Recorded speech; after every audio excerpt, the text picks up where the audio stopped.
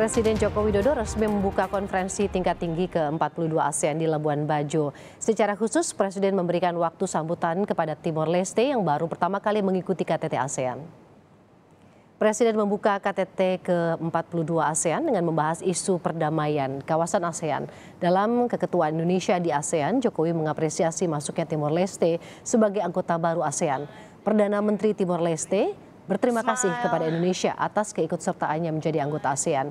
Ia menyebut ASEAN menjadi salah satu kendaraan untuk memajukan kerjasama politik, ekonomi, dan keamanan Timor Leste di kawasan Asia Tenggara.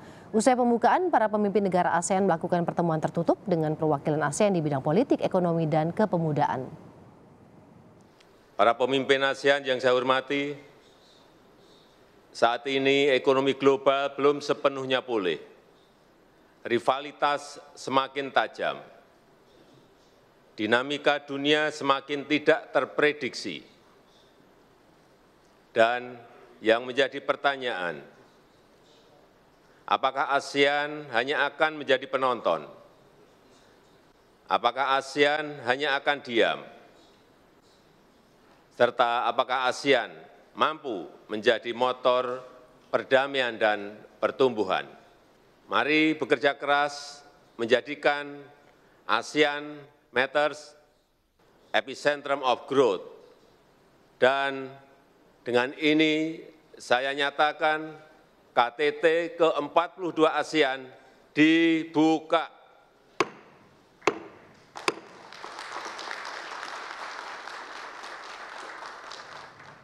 Informasi terkini dari pertemuan puncak konferensi tingkat tinggi ke-42 ASEAN 2023 akan kita tanyakan langsung dengan jurnalis Kompas TV ada Alvania Rizky di Arena Media Center KTT ASEAN di Labuan Bajo. Alfa, selamat siang. Apa saja yang menjadi fokus pembahasan atau agenda konferensi hari ini?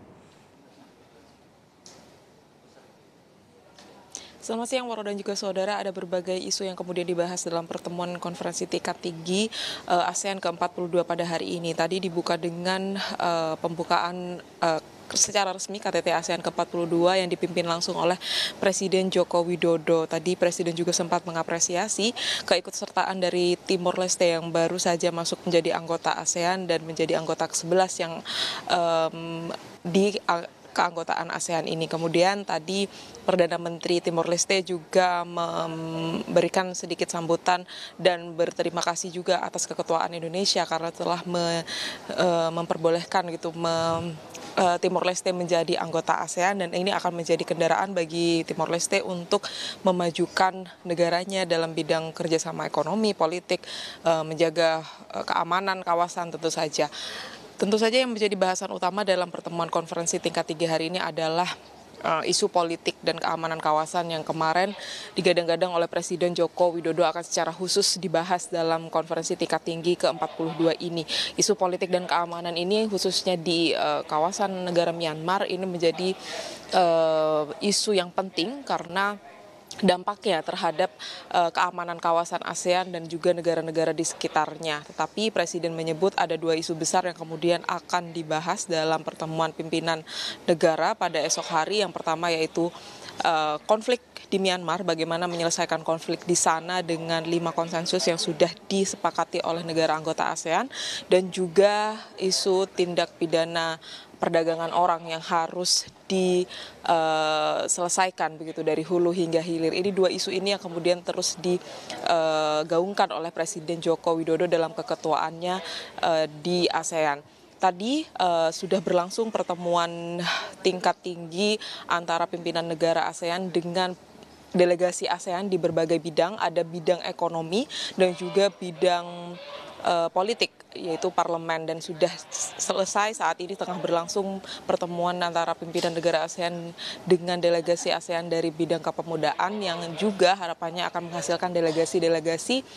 Uh, maksud saya deklarasi-deklarasi yang uh, baik begitu. Dan nantinya hasil dari pertemuan ini akan dibawa pada pertemuan tingkat tinggi esok antara para pimpinan negara dan melahirkan deklarasi-deklarasi tersebut.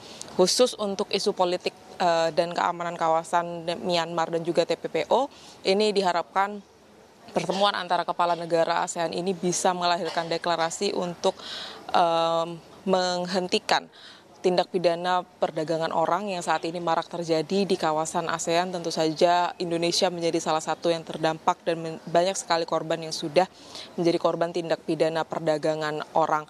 Tadi dikonfirmasi ada delapan negara eh, ASEAN, anggota ASEAN yang hadir dalam KTT ke-42 ini kecuali Myanmar yang memang memilih untuk tidak hadir walaupun sudah diberikan eh, kursi tetap uh, pada ruang pertemuan tadi saya melihat ada satu kursi kosong dengan bendera Myanmar, tapi memang Myanmar tidak datang dan kemudian Thailand yang memang tidak bisa uh, datang karena harus menyelenggarakan pemilihan umum pada 14 Mei 2023 mendatang.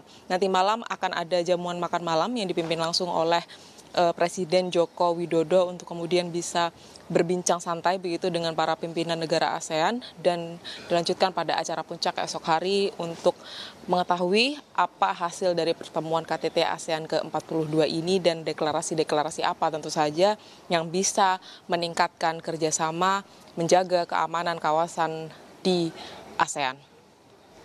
Ada pembahasan-pembahasan yang kemudian menjadi highlights gitu ya dari Presiden Joko Widodo konflik di Myanmar kemudian tidak pidana perdagangan orang di kawasan ASEAN.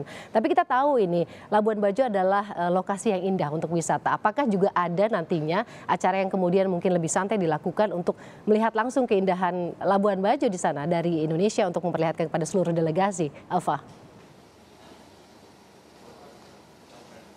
Ya, tadi pada penerimaan pimpinan negara di Hotel Murorah eh, di awal Presiden menyambut para pimpinan negara yang tiba di hotel atau di venue utama. Ini sempat eh, para pemimpin negara ini menengok di belakang Hotel Murorah. Ini memang hmm. sudah ada pinisi yang eh, terparkir di sana sembari eh, dengan pemandangan indah dari eh, Labuan Bajo. Kemudian nanti malam di acara jamuan makan malam juga saya juga sempat ikut uh, mengecek ke sana begitu memang di sana uh, tempatnya sangat indah dan akan dilakukan juga ada kembang api begitu sehingga bisa menghibur para pemimpin negara di tengah pertemuan serius dan bahasan-bahasan serius yang diharapkan bisa menghasilkan uh, deklarasi KTT ke KTT ASEAN ke-42 ini, Woro.